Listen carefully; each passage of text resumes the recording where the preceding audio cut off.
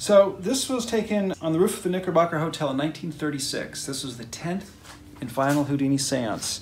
Now, Bessie's sitting here with holding the hand of Dr. Edward Saint. This was the spirit medium that night, uh, the man who conducted the seance. And you'll see a spirit trumpet over here, some chalkboard slates, we have a bell, there was some paper. All these items were placed uh, on that table. If Houdini was going to come back, this was the night that he was going to make an appearance. And sadly, after an hour, nothing happened.